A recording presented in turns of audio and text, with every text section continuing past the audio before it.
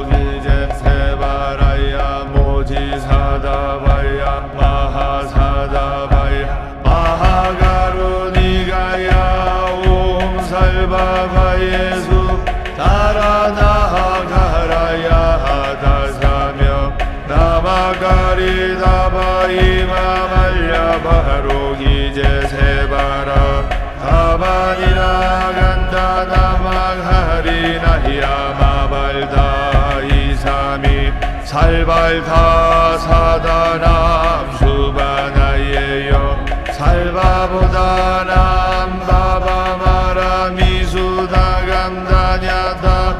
오아로게 아로가 마지로가 지가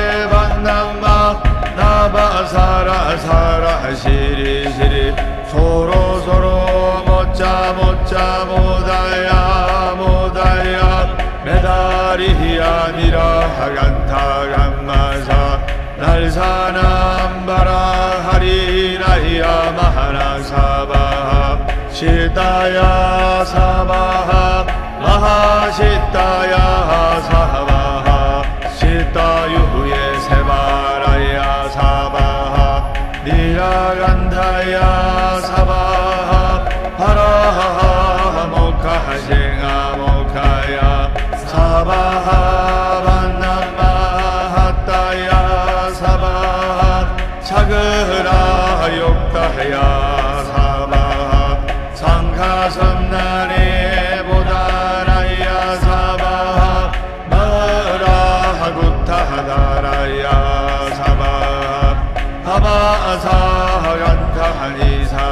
사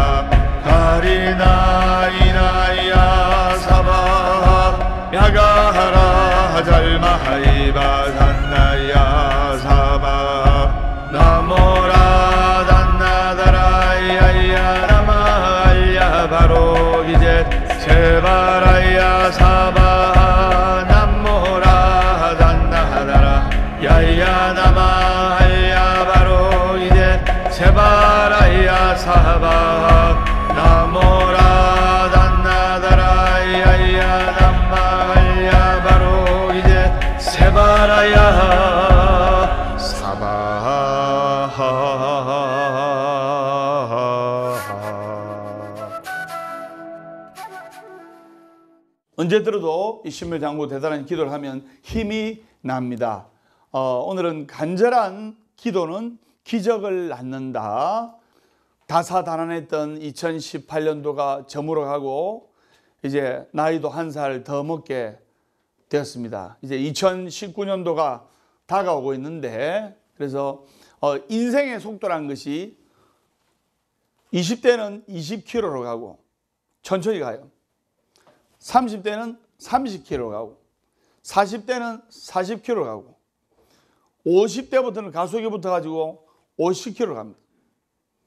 금방 60대, 60대는 60km 가고 70대는 70km 가고 맞죠? 그래서 인생이란 것이 쏜살같이 달리는 자동차와 같습니다. 인생이 잠깐이에요. 그래서 이 잠깐의 인생 때 부처님께 기도하고 그리고 어, 내 자신을 반추하고 또 여러분들이 절에 오려고 하는 것이 다 가족들 행복하게 아들 딸들 잘 되고 가족들 다 잘 되려고 하는 마음에서 오는 거예요. 맞죠? 그래서 간절한 기도는 기적을 낳는다. 간절한 바람이 간절한 기도를 낳습니다. 간절한 마음으로 더 간절히 기도해야 됩니다. 그러면 하늘이 움직이기 시작합니다. 좋은 인연들이 생깁니다. 간절한 바람은 기적을 낳습니다. 관세음보살. 네. 간절한 기도가 기적을 낳고 근데 이렇게 간절하게 기도한다고 해서 당장 이루어지지 않을 수도 있어요. 그러나 이루어지지 않을 때는 인디안이 비가 올 때까지 규제를 지내듯이 더 간절한 마음으로 더 간절히 기도를 해야 됩니다. 그러면 하늘이 움직이기 시작하는 거예요. 좋은 인연을 붙여주고 물질을 채워주고 많은 인연들을 만들어 주는 거예요. 그래서 여러분들은 잘 되는 도량에서 기도하고 또 잘 되는 불교 TV 한국 불교 대표 방송 BTN을 많이 시청하시고 여러분들 열심히 기도를 해야 돼요. 열심히 밝고 힘차고 활기차게 기도를 해야 되는 겁니다. 그래서 그 기도의 인연에 힘입어 간절한 바람은 현실이 되는 거예요. 바로 꿈은 이루어지게 돼 있는 거예요. 또 간절한 기도로 맺어진 인연은 아주 오래 가는 거예요. 여러분들은 이 도반이요, 도반. 어, 부처님 전에 법을 따르는 도반이에요. 또 법우라고도 하고. 그래서 이 도반들끼리 마음을 의지해서 같이 기도하고 음, 놀러를 가더라도 같이 108산사 순례를 가고 음, 회를 들더라도 지장에 관음에 신중에 약사에 산신에 이런 어, 기도하는 회에 들어가면 좋습니다. 기도의 마지막에는 이제 회양을 하게 되는데 우리가 정초기도 삼대기도 끝에 이제 정월 방생을 가듯이 기도 끝에는 회양을 잘해야 돼요. 또 회양을 할 때는 방생을 해주는 게 좋고 이 세상에서 제일 큰 공덕이 죽어가는 생명을 살려주는 거 아닙니까? 맞죠? 그래서 회양을 잘해야 되는데 이 회양이라는 것은 제가 선장님 돌이킬 회, 향할 향. 그래서 이 회양의 뜻은 첫째 끝난다는 말이고 두 번째 내가 기도를 한 만큼 내가 부처님 전에 간절히 기도를 한 만큼 나와 내 권속들에게 그 공덕이 돌아간다는 뜻이에요. 그래서 회양을 잘해야 됩니다. 기도할 때도 회양을 잘해야 되고 인생에 있어서도 회양을 잘해야 되는 겁니다. 회양을 만약에 잘못하게 되면 지금까지 쌓은 기도의 모든 공덕이 무너지게 돼 있어요. 기도의 공덕은 혼자 잘 묵고 잘 살자고 하는 게 아닙니다. 기도의 공덕을 법계의 모든 중생들에게 같이 이 행복을 두루 나누고자 하는 이 회양을 반드시 해야 돼요. 그래서 부처님 내 잘되게 해주세요. 가면 부처님께서 복을 요만큼 주세요. 부처님 우리 가족들 잘되게 해주세요. 부처님께서 복을 요만큼 주세요. 부처님 나와 인연 맺은 모든 사람들이 행복하게 해주십시오. 부처님 나와 인연 맺은 모든 사람들이 잘되게 해주십시오. 이런 마음을 가질 때 부처님께서 한량없는 복을 주시는 거예요. 그래서 성공해지고 행복하려면 제가 선장입니다. 남을 잘 되게 하라. 남을 행복하게 하라. 내 옆에 있는 사람이 행복해지면 나도 행복해지고 바로 내 옆에 있는 사람이 괴로워지고 실패하고 주저앉으면 나 또한 괴로워지고 힘들어지는 거예요. 그래서 남을 잘 되게 하고 남을 행복하게 할 때 내 자신의 삶도 풍요로워지고 행복해지는 거예요. 그래서 회양을 잘해야 돼요. 간절한 기도를 하고 나서 회양을 잘했는데 말입니다. 그래서 어, 부처님 말씀에 결례지신이라는 말이 있습니다. 이게 무슨 말이냐면 우리가 부처님께 간절하게 기도하고 또는 관세음보살님이나 지장 보살님께 간절하게 기도하면 얻게 되는 이익이 있어요.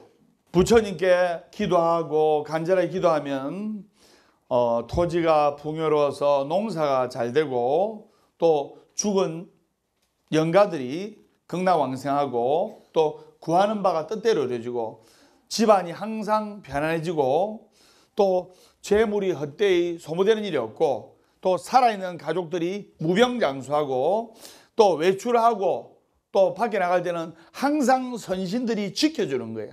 호법 선신이 지켜줘요.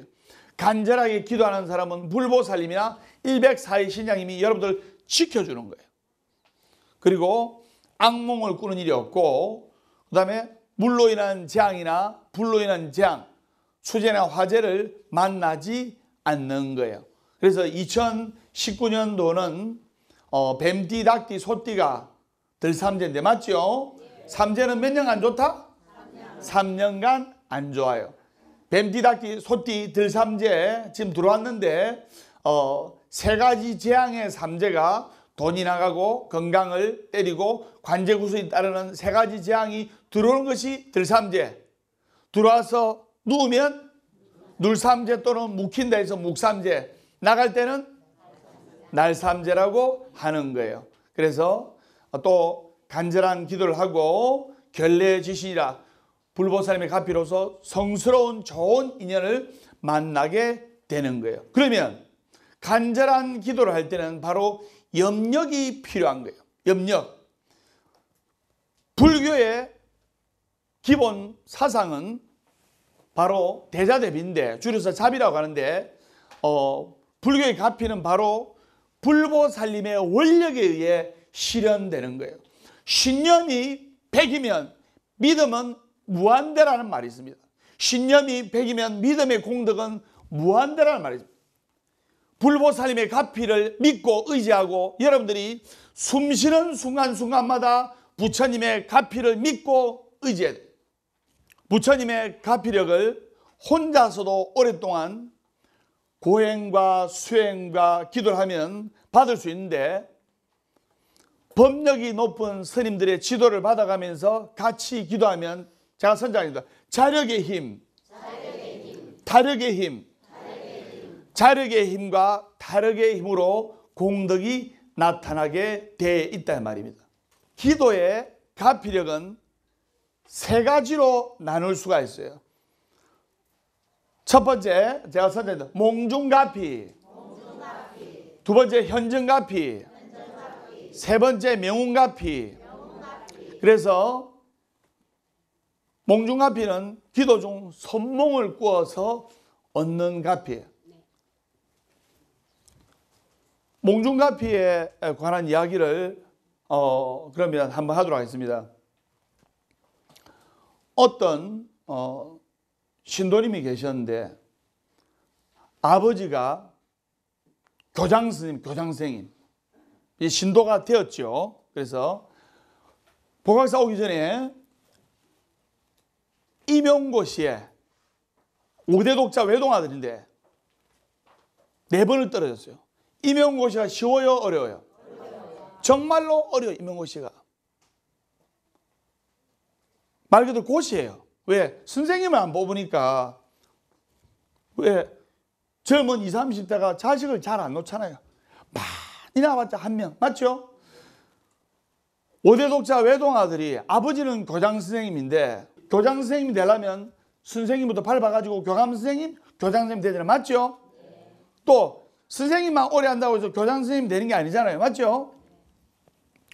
아버지는 즉 선생님으로서 최고의 자리에 올라갔는데 교장 선생님인데 아들은 임용고시에 다섯 번을 내리 떨어지는 거예요. 아버지가 얼마나 속이 타겠습니까? 그래서 그 아버지랑 또 어머니랑 또 5대 독자 그 임용고시 시험에 떨어진 아들이랑 이렇게 왔어요. 시에 사시는 분인데. 그래서 제가 기도법을 지도를 해드리고 아까 말씀드린 자력의 힘, 달력의 힘 본인도 열심히 기도하는 마음으로 공부를 하고 그다음에 아버지 어머님도 사경도 하고 열심히 기도하고 또 법담스님도 열심히 기도를 했어요. 열심히 기도하고 임용고시라는 것이 1차, 2차, 3차까지 있죠. 그래서 1차, 2차에 합격해도 3차에 면접이 떨어지면 떨어지는 거예요. 맞죠? 그럼 다시 또 1차부터 시험을 쳐야 돼요. 그 아들님이 29인데 3차에서 3번 떨어지고 1차에서 한 번 떨어지고 2차에서 한 번 떨어졌어요. 얼마나 속이 타겠습니까?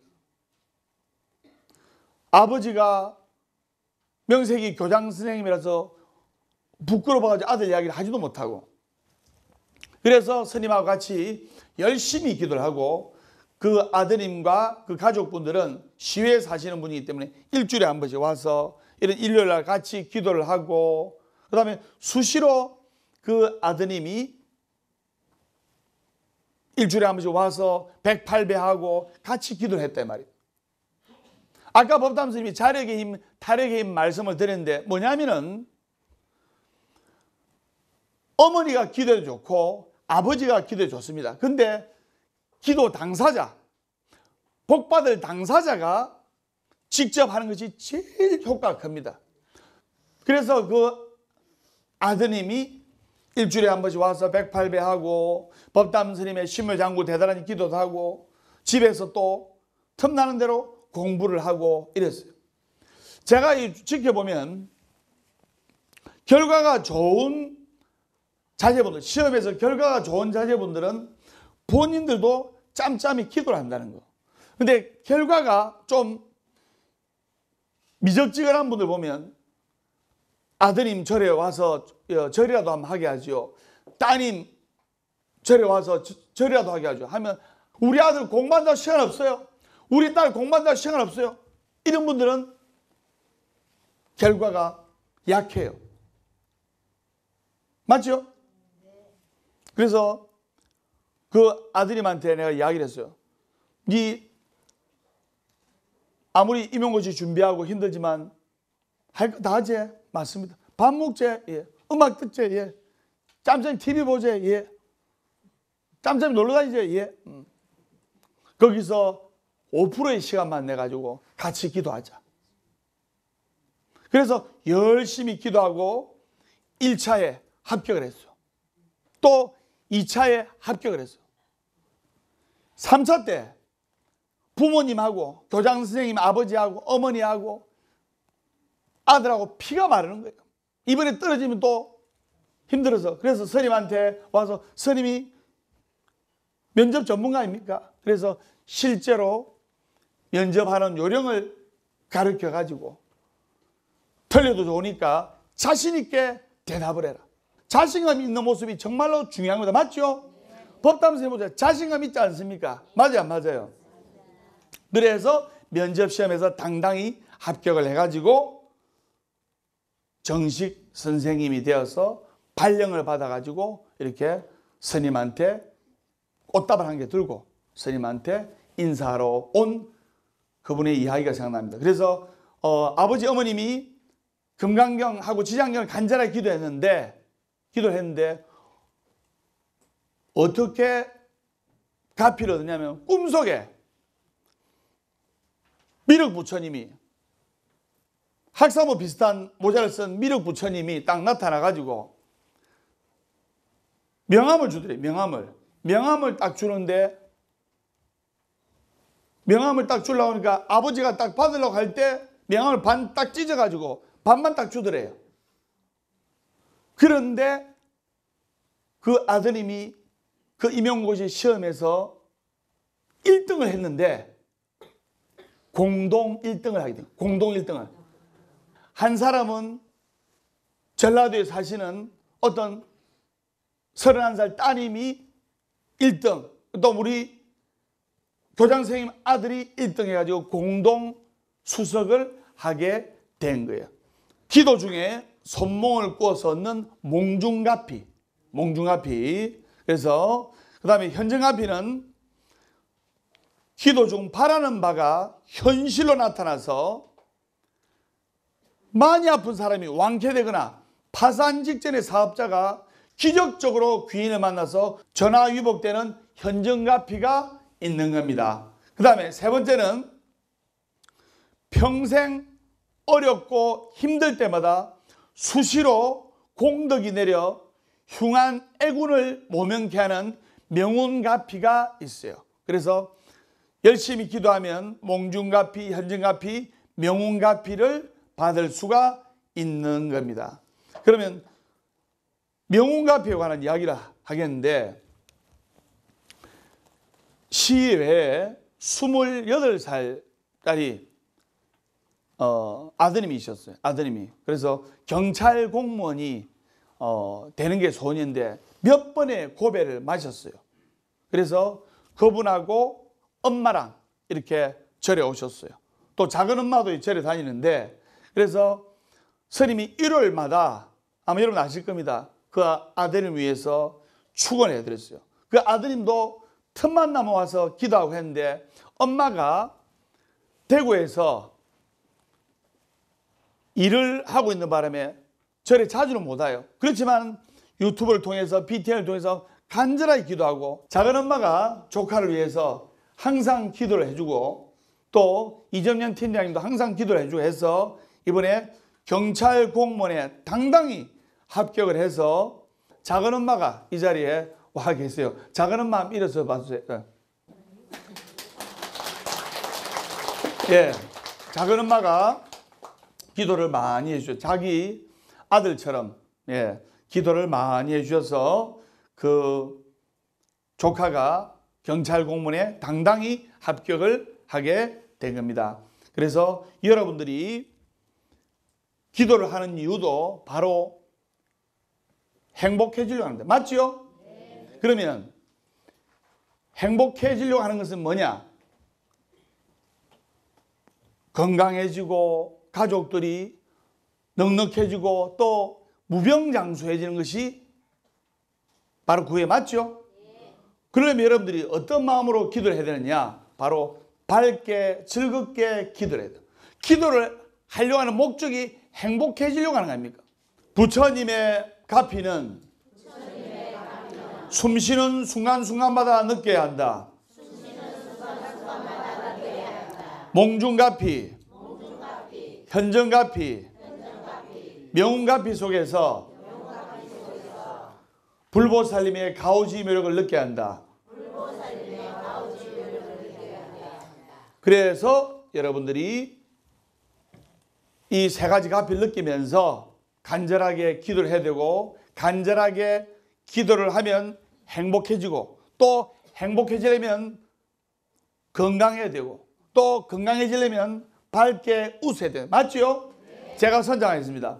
월요일은 원래 없고 화요일은 화가 나도 없고 수요일은 수시로 없고 목요일은 목이 터져라 없고 금요일은 금방 웃고 또 웃고 토요일은 토실토실하게 웃고 일요일은 일 없어서 운다. 행복하기 때문에 웃는 것이 아니라 웃기 때문에 행복한 것이다.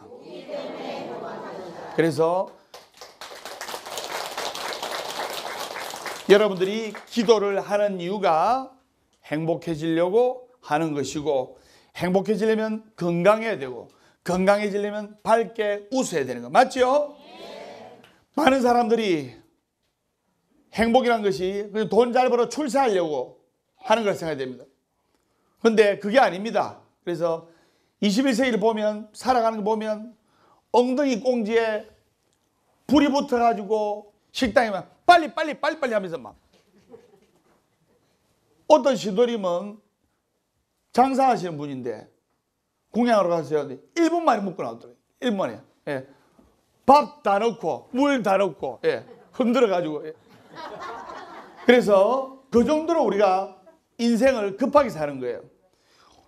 우리 몸에서 가장 중요한 바로 건강. 이 건강을 인수분해하면 튼튼할 근자와 편안할 강자가 조화가 되어서 몸이 튼튼하고 마음이 편안함을 의미합니다. 맞죠? 그러면 여러분들이 기도를 해서 행복해지고 또 행복해지려면 건강해야 되고 건강을 많이 웃어야 되는데 그러면 건강하고 오래 무병장수하려면 또 여러분의 아들, 딸들과 가족과 행복하게 오래 살려면 건강해야 되는데 건강하려면 스트레스를 받아야 된다, 안 받아야 된다? 스트레스를 받으면 안 되는 거예요. 자, 그러면 스트레스가 얼마나 몸에 해로운가 실제로 실험을 했어요. 쥐를 여기 실험용 쥐를 앞에 놔놓고 고양이 있죠. 고양이 쥐를 잡아먹어요, 안 잡아먹어요? 잡아먹죠. 이 고양이가 쥐를 잡아먹는데 이 천적인 고양이가 쥐 앞에 달동 말동 해가지고 목에 방울하고 끄내기 딱 잡고 쥐 앞으로 하루에 두 번씩 아침에 한 번, 점심 때 한 번. 쥐가 스트레스 받아요, 안 받아요? 자기가 죽느냐 사느냐 달린데 3일간 그래 하니까 이제 그 실험용 쥐를 배를 갈라가지고 이제 위를 보니까 위에 피멍이 들어있었어요. 너무나 극심한 스트레스를 받아요. 그 다음에 옆에 또 있던 쥐를 또 보니까 위가 다 헐어 있었어요. 그 다음에 어떤 쥐는 한 달간을 고양이를 아침에 끌고 왔다리 갔다리 왔다리 갔다리 하니까 한 달 동안의 스트레스로 이 쥐를 쥐의 배를 열어보니까 심장이 다 망가져 있었어요. 그만큼 스트레스가 몸에 해로운 거예요. 그래서 항상 밝게 웃으면서 즐겁게 살라고 노력을 해야 되는 거예요. 그럼 제가 여러분들께 재미난 이야기를 지금부터 한 가지 해드리겠습니다. 뭐냐? 어느 비행기를 이제 20명이 타고 있었어요. 20명이. 근데 비행기가 고장이 나가지고 추락하게 됐어요. 추락하게 됐는데 거기에는 기장, 승무원, 그 다음에 사업가, 그 다음에 할머니, 할아버지, 젊은 사람 또 어, 다섯 살짜리 유치원 어린이 이렇게 한 20명 타고 있었는데 기장이 이야기를 했어요. 여기에는 인원이 20명이지만 낙하산은 19개 뿐입니다. 한 명이 누군가가 살지를 못합니다. 이렇게 이야기를 맞아요, 맞아요. 낙하산이 19개고 사람이 20명이면 반드시 한 명은 살아남지 못하잖아요. 맞죠? 그래야 심각하게 하고 있는데 어떤 한 40대 초반을 보인 사업가가 지 살아야 되겠다면서 후다닥 하면서 낙하산 두고 뛰내린 거예요.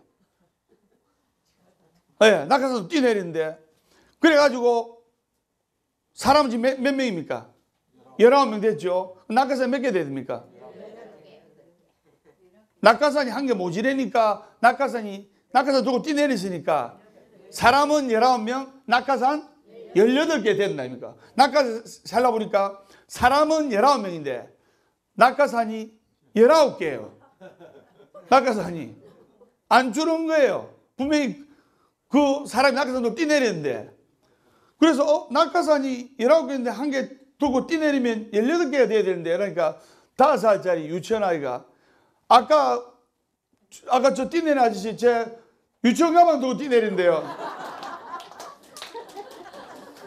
그래서 유치원 가방을 들고 뛰내려 가지고 예, 나머지는 다 살았다는 그런 이야기겠습니다. 자, 그래 밝게 살아야 돼요. 그래서 스트레스는 몸에 좋은 스트레스가 있고 몸에 해로운 스트레스가 있어요. 그래서 몸에 유익을 주는 스트레스 웃으면서 따라서 유 스트레스. 예. 몸에 유익을 주는 유 스트레스가 있고 몸에 해를 주는 디 스트레스가 있어요. 디 스트레스. 그래서 스트레스는 너무나 강해도 위험하지만 너무 없어도 생명력을 잃게 되는 거예요. 그래서 적당한 스트레스는 오히려 삶에 활력을 주는 거예요. 여러분들이 왜 기도를 합니까? 스트레스를 받기 때문에 예를 들어 남편 사업이 안 돼가지고 스트레스 받아서 기도를 하는 것이고 또 아들 딸들이 부모 뜻대로 안 따라주고 잘 안 풀려서 아들 딸들을 위해서 기도를 하는 거예요. 적당한 스트레스는 오히려 삶에 활력을 주는 거예요. 왜? 그 스트레스를 극복하려고 노력을 하기 때문에. 그래서 스트레스는 3단계로 나누는데 제가 선생님 경고기, 저항기, 소모기. 그래서 이 경고기는 어, 몸의 자연 생명력인 자연 치유력이 감소하고 몸이 산성 체질로 바뀌고 그 다음에 저항기는 호르몬이 몸에서 저항이 돼가지고 몸이 변하고 화를 자주 내는 거예요. 화를 자주 내면 좋다 안 좋다? 안 좋아요. 그 다음에 세 번째는 소모기. 혈압의 변화가 오고 뇌하수체 부신의 반응이 떨어지고 몸이 전체적으로 유기적으로 면역력이 떨어진 게 바로 소목입니다. 그러면 이 부처님 법에 성 안 내는 그 얼굴이 참다운 공양구요. 부드러운 말 한마디 미묘한 향이로다. 깨끗해 티가 없는 진실한 그 마음이 언제나 한결같은 부처님 마음일세 이런 말이 맞죠? 그래서 불법성 삼보를 믿고 따르는 불자라면 탐진지 삼독심의 거물에서 벗어나야 돼요. 탐진지 삼독이 욕심, 성냄, 어리석음. 그 욕심, 성냄, 어리석음의 거물에서 벗어날 줄 알아야 돼요.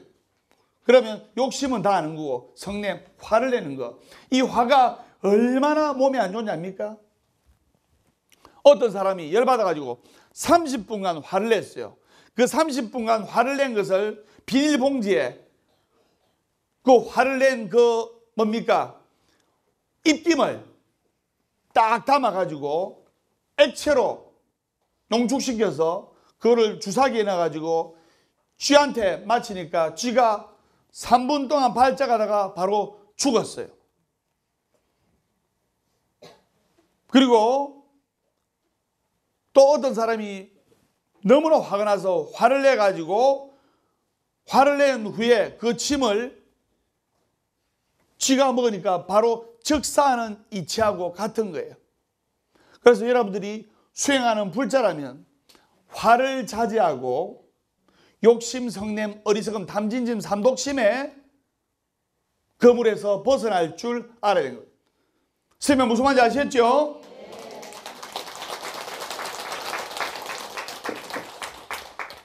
미국에서 남녀 천명을 조사했더니 화를 잘 내는 사람은 55세 이전에 심장마비 올 확률이 5배. 그 다음에 심장병은 3배가 높은 것으로 연구가 됐어요. 웃음의 반대가 스트레스예요. 그래서 오래 건강하게 살고 싶고 행복하게 살고 싶으려면 기도하는 마음으로 화를 내면 안 되는 거예요. 부글부글 끓어도 화를 자제할 줄 알아야 돼요. 이렇게 이야기하니까 스님 내를 열받게 하잖아요. 스님 내를 뚜껑 열리게 하잖아요. 이런 말씀 하지 않아요. 맞죠? 그것은 자신의 마음 도량이 마음 그릇이 작다는 반증입니다. 여러분 라면 끓일 때 냄비가 크면 한참을 끓여야 돼요. 근데 냄비가 아주 작으면 온만에 뽀글뽀글하면서 뚜껑이 드르르 열려요. 그렇듯이 내 마음 도량이 넓은 사람은 아무리 주위에서 약을 올려도 쉽게 화를 안 냅니다. 근데 마음 도량이 나의 마음 그릇이 작은 사람은 조금만 그래도 삐끼고 조금만 그래도 토라지고 조금만 그래도 열받는다 이 말입니다.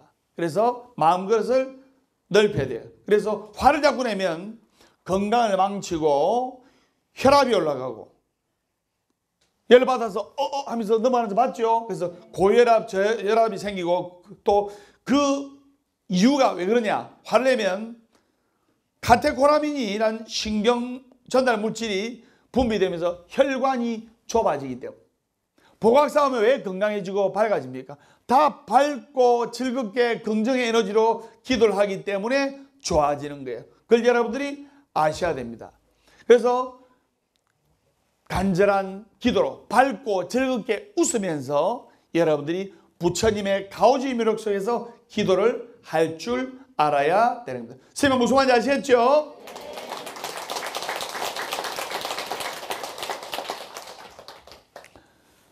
그러면 어 아까도 선생님 언급했지만 스트레스의 반대가 웃음이에요. 그러면 우울증 환자들 많죠. 요즘 우울증 환자들 얼마나 많냐니까 우울증의 치료에는 웃음이 답이에요. 미국 하버드대 의대 김광수 교수에 의하면 스트레스 호르몬이 몸 안에 많이 축적되면 바로 우울증이 생기고 우울증이 깊어진다. 그러면 우울증 환자 잘 웃어요, 안 웃어요? 안 웃잖아요. 그러면 우울증을 낫게 하려면 억지로라도 웃고 밝게 웃어야 돼요. 그래서 우울증 환자 대다수가 몸 안에 스트레스 호르몬인 코르티졸이 과다 축적이 된 거예요. 우울증에 걸리면 아 내가 밝게 살아야지 하면서 이게 조절이 안 됩니다. 그래서 우울증에 안 빠지도록 평상시에 밝고 힘차고 건전하게 즐겁게 살아가도록 노력을 해야 돼요. 그러면 한국 불교 대표방송 BTN 불교 TV도 자주 보시고 또 같이 우리가 즐겁게 웃으면서 기도하고 항상 감사하는 마음으로 살아가야 돼요. 병은 다 어디에서 오느냐? 99.9%가 마음에서 오는 거예요. 제가 저 서구 대신동에 어느 병원에 가니까 병원 입구 현판에 심해 무병이라고 크게 써가 있어요. 심해 무병. 바로 마음밖에 병은 없다. 의역을 하면 병은 마음에서 나온다. 마음을 조절하지 못해 화를 잘 내면 심장병이 유발이 될 확률이 높고 고혈압, 저혈압이 올라갈 확률이 굉장히 높아지듯이 이 모든 병은 마음에서 온다고 생각해야 돼요. 그래서 마음속에 이 답이 있는 거예요. 그래서 여러분들이 긍정적인 마음, 제가 선자입니다. 사랑, 기쁨, 즐거움, 희망, 이런 마음을 가슴속에 담아야 돼요. 부정적인 씨앗의 마음은 바로 우울증과 자괴감에 빠져들 수밖에 없는 거예요. 부정적인 씨앗의 마음 바로 용서할 수 없는 마음. 미움, 절망, 좌절시기. 자, 내가 저 인간한테 사기를 당하고 저 인간한테 괴로움을 당했어. 근데 저 사람을 내가 용서를 못해. 근데 그 사람은 백화점에 쇼핑하러 잘 다니고 놀러 잘 다니고 있어. 나는 이렇게 괴로운데 내가 저 사람을 용서할 때 누가 더 행복해진다? 내가 더 행복해지는 거예요. 그래서 모든 것을 용서할 줄 알아야 돼요. 아무리 괴롭고 힘든 것도 1년만 지나면 다 행복한 촉이 되는 거예요. 그래서 우리 몸은 긍정적인 마음과 부정적인 마음이 따르는데 긍정적인 마음으로 기도를 하는 거예요. 긍정적인 마음으로 기도를 할 때, 긍정적인 마음으로 간절히 기도할 때 바로 기적을 낳고 긍정적인 마음으로 간절히 기도할 때 바로 운명을 바꿀 수가 있는 거예요. 긍정적인 마음으로 밝게 웃으면은 아까 여러분 한바탕 웃었지요? 그러면 엔돌핀이 나오고 부정적인 마음으로 이렇게 생각하고 스트레스 많이 받으면 스트레스 호르몬 아드레날린이 분비가 되는 거예요. 그렇기 때문에 웃음이 마음에 큰 영향을 주는 거예요. 그래서 여러분들이 간절한 기도로서 운명을 바꿔야 되고 간절한 기도로서 행복해져야 되고 행복해지려면 건강해야 돼요. 건강해지면 어떻게 되냐? 밝게 웃으면서 긍정적인 에너지로서 기도를 해야 되는 거예요. 그래서 건강해지려면 마음 조절을 잘해야 되고 첫 번째, 두 번째 생각을 긍정적으로 해요. 긍정적으로. 여러분들 스님 볼 때 법담 스님 고민을 안 합니다. 왜? 걱정을 안 합니다. 왜? 자, 지나간 거는 걱정하고 고민한다고 해결이 안 돼요. 맞아요, 맞아요. 지나간 거 아무리 걱정하고 고민한다고 해결이 안 됩니다. 그 다음에 내일 일. 지금 안절부절하고 초조한다고 해서 내일 일이 해결되는 게 아닙니다. 바로 지금 이 자리에서 최선을 다하고 지금 이 자리에서 긍정의 알파 에너지로 기도하고 열심히 step by step 하루하루 밝게 전진할 때 나의 운명이 간절한 기도로서 행복을 낳고 간절한 기도로서 운명을 낳고 간절한 기도로서 바로 기적을 초래하는 거예요. 설명 무슨 말인지 아시겠죠? 웃으면 건강에 좋고 그리고 요즘 어딘지 지금 웃음 치료하기 지금 엄청나게 웃음 돌풍이 열고 있어요. 그래서 병원에서도 서울대 병원에도 암 환자, 우울증 환자, 고혈압 환자들한테 한 3주간 웃음 치료하니까 특히 암 환자들한테 진통제, 이 진통제가 70%나 사용이 주게 된 거예요. 왜? 몸에서 자연 진동제 엔돌핀이 나오기 때문이에요. 그래서 간절한 기도로서 여러분들이 스트레스, 불안, 공포를 다 날려버리고 그리고 유 스트레스, 행복한 스트레스로 열심히 기도해서 그럼 엔돌핀이 나오는 거예요. 그래서 나의 마음을 모아서 열심히 기도해서 내 주어진 업장에 때를 벗기고 간절한 기도에서 운명을 바꾸기를 간절하게 기원하면서 보아사법담 스님의 술술 풀리는 소원성지 이야기 시즌 3 다음 시간에 밝고 건강한 모습으로 뵙도록 하겠습니다. 우리 다 같이 인사하겠습니다. 술술 풀립니다.